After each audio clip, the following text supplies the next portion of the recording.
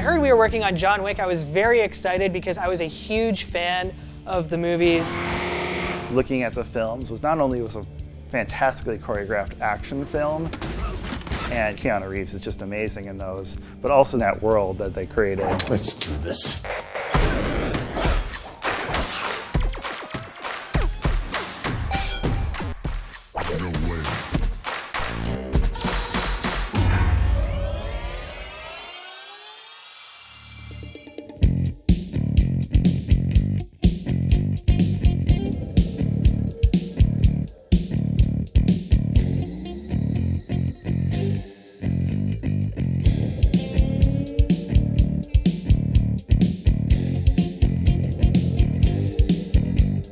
Game started out with Elliot and myself, and Elliot was coming from a mechanical engineering background. I was wanting to make a change from mechanical engineering to game design. Um, I just felt like it was a natural progression for me. We got down to the basics, like you start every pinball machine, you start with a drawing, you start with concepts, you start with the themes. What are the cool mechs? What can we draw? What's like iconic about John Wick and just kind of add that into the playfield. I think Elliot's got his own style. He had a pretty clear vision of how he wanted certain aspects of it to function. Well, I knew all along I wanted to do a two flipper game, so I wanted to try to make that as fast action as possible. So like I knew laying out the ramps and all this stuff had to be quick. At the end of the day, a pinball machine experience is only going to be about three minutes. So in that three minutes, you need to deliver a high energy, high intensity experience for the player. The first thing that struck me was the Continental as their main base of operations. I, want, I knew I wanted to put that in the game. The main concern was getting this, this Continental sculpt to look appropriate, but not dominating, but not minuscule. We put some cool lighting inside there with flash lamps so you could see more action inside the Continental. It was really cool to start from your sketching that you did and then get it to the point where you can shoot it out and try out all the geometry that you just laid down. And you learn a bunch of stuff. Like on this right side, I really want to massage this area to make it a little bit more forgiving. It's all kind of one big puzzle where like you adjust one piece here and it affects several pieces down over here or around an area. But that just is a lot of areas to change and update. So yeah, it's a big snowball sometimes. We really loved all the dance club scenes from all the movies. They're always fighting in some kind of club with people. She wanted to convey that action in a pinball context. The car and the dance club were two things that from day one everybody thought should be part of the game. It's iconic in the movies and we could do interesting things with it. This actually started as an upper playfield. So I wanted to have some sort of combat area where, you know, you have close quarters. I'd have a, oh sort of an exit that would feed it this way. And I tried several different iterations of whatever to make it kind of cool. Then I'm like, eh, it's not as dynamic as what I'd like it to be. So I'm like, okay, let's sink it down so we can shoot straight into it. The pop bumper is a little bit unique. A lot of those captive balls don't have that in it. And Elliot was looking for a lot of action in that area.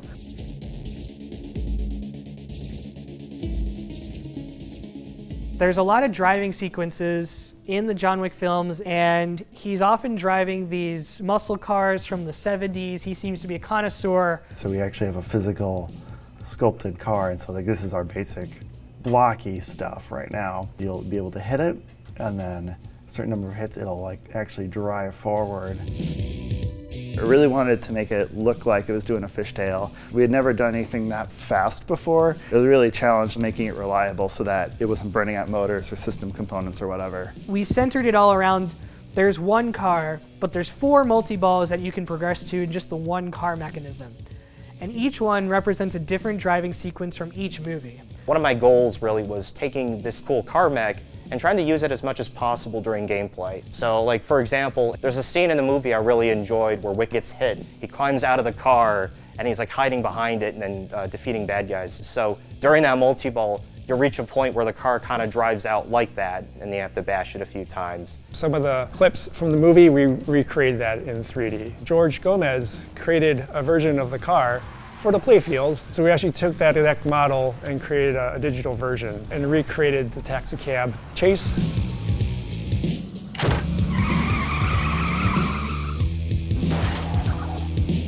watching the John Wick films, I liked how they had this blood oath marker that they would open up. We had this uh, sculpt on the playfield from uh, Elliot and the team that would open up and show fingerprints inside. So we decided to bring that in, and Lionsgate sent us a prop from John Wick that we were able to scan and recreate in 3D to put on the game.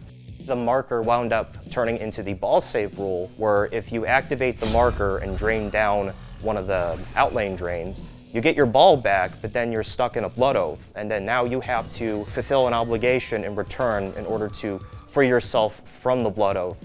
I wanted to make the player feel like they were signing a deal with the devil. Actions have consequences.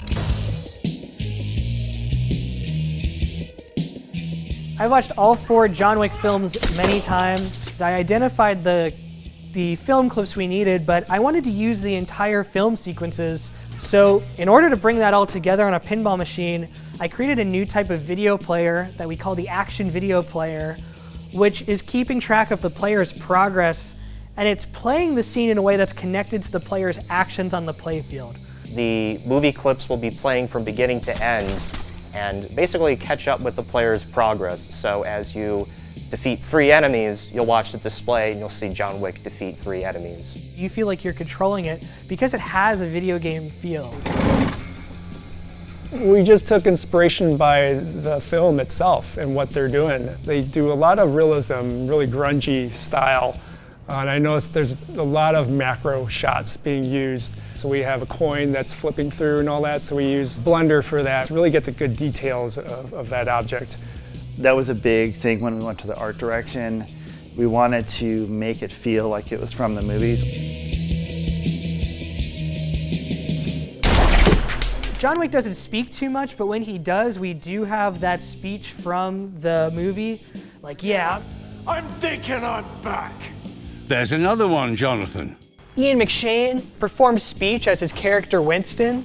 Over in London, Ian McShane came to the studio. We had a great recording session, and he just delivered immediately a great performance that works really well in the pinball machine.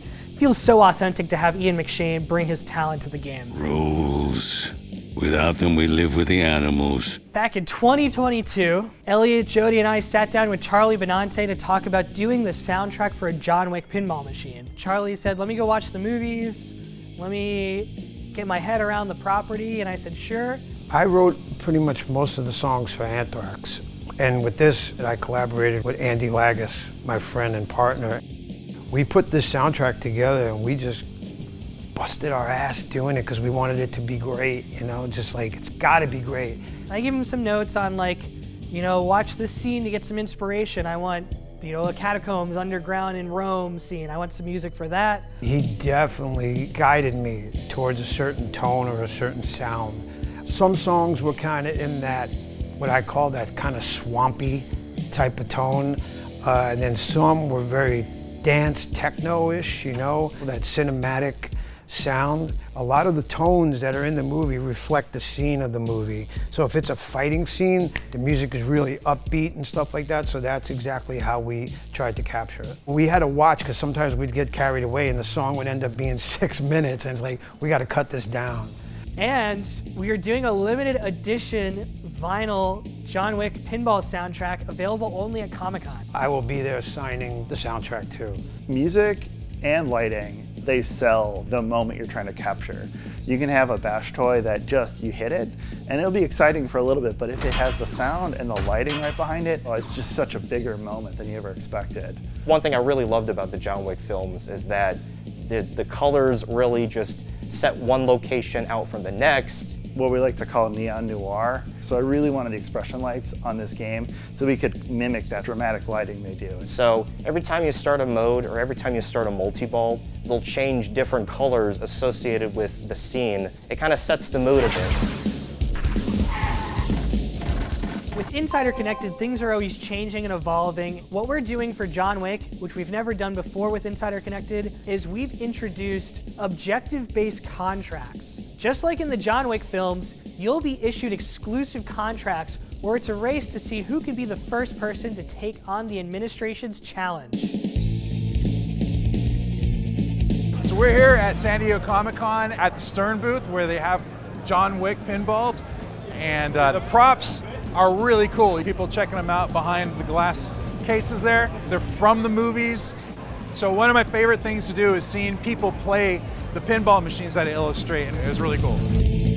So we're at Comic Con, and there was something in the air that Keanu was going to come by. Sure enough, Keanu shows up and starts playing the game and, and hanging, and then started talking and everything, and he enjoyed the game. And from what I hear, he's a huge pinball fan. He could definitely play pinball. Look at that! Oh, damn! So for him to be playing the John Wick game at Comic Con, it was just like, can this thing get any better? Every game that I've worked on up until this point, it's always had that magic moment where you go from whitewood to art to then now speech and sound where the game, I like to call it the game kind of comes to life. And then when you get there, you're always like, wow, this is so much cooler than I ever expected. It's badass, it's fast, it's cinematic. I think this layout and the way the shots flow are, are really Elliot style. If you're a fan of John Wick, then it's a must to have this in your house or your office or your bathroom. I don't care, wherever you want to put it. We get awesome animations, we get awesome video clips from the game, awesome sound effects, driving music. It all comes together to an action-packed pinball experience. Everything just feels like it should.